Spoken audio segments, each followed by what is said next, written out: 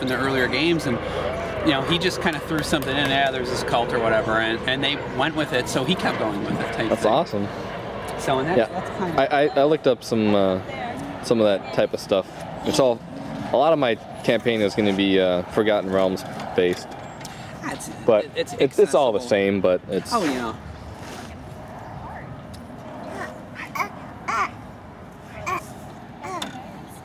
Are we all done in here, Aidan?